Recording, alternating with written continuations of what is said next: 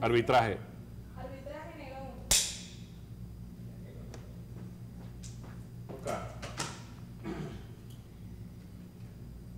¿Estamos listos? Acción.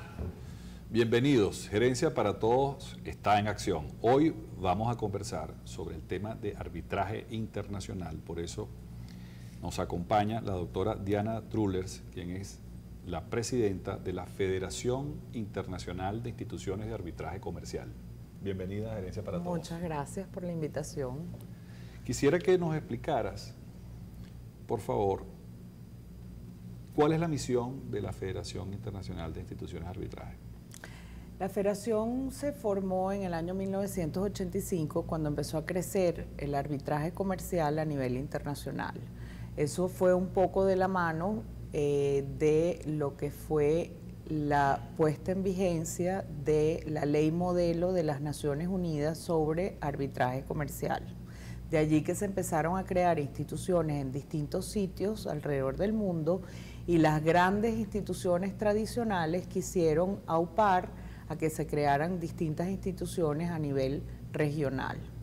Eh, Venezuela, con la entrada en vigencia de esa ley modelo en el año 1996, pues arrancó con su arbitraje institucional, el Centro de Arbitraje de la Cámara de Comercio de Caracas, eh, montó su centro de arbitraje como tal, aprobó un reglamento y por ende entró a formar parte de esta Federación Internacional de Instituciones de Arbitraje.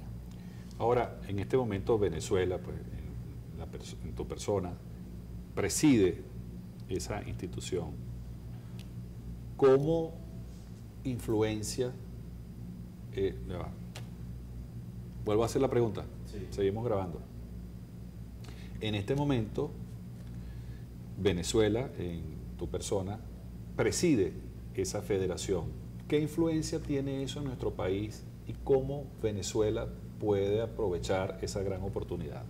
Bueno, yo creo que principalmente lo, lo más, diría yo, destacado es que las otras instituciones de arbitraje que son miembros, que somos 59 a nivel internacional, incluyendo la Corte Internacional de Arbitraje, el CIADI, etcétera, reconocen que el sistema de arbitraje en Venezuela está funcionando muy bien y por ende nos dan a nosotros la representación de esta federación en este momento. Eso es un periodo de cuatro años, eh, esa presidencia, y de hecho el año pasado nos volvieron a reelegir como eh, para liderizar esta institución. ¿Qué hace en realidad que eh, esta institución funcione bien? Los centros de arbitraje lo que hacen es administrar casos de arbitraje, algunos internacionales, algunos casos nacionales. Para acceder a estos centros de arbitraje, para acceder a este servicio de arbitraje a nivel internacional, eh, las compañías o los particulares cuando entran a hacer un negocio deben tener una cláusula que los remita para la solución de su conflicto a un arbitraje.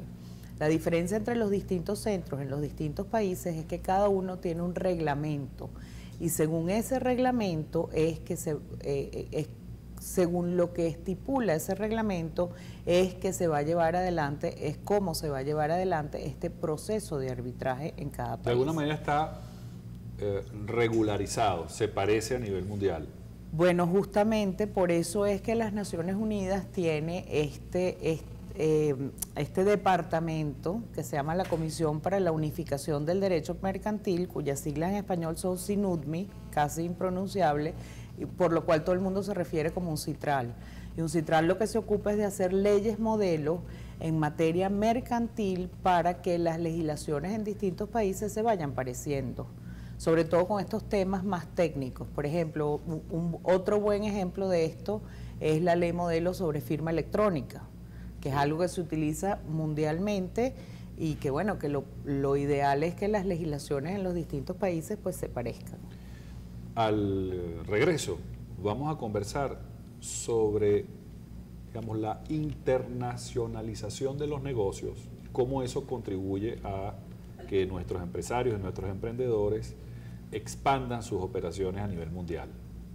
Ya regresamos. Okay, okay.